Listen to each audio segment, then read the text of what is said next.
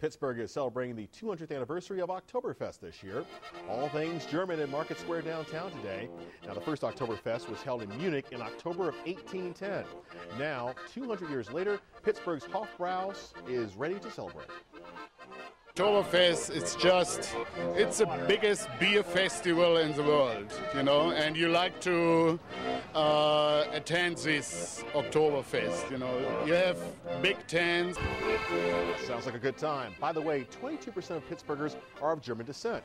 Look for the Oktoberfest celebration under a one acre tent on the south side on the weekends of September 17th and 18th and September 24th and 25th.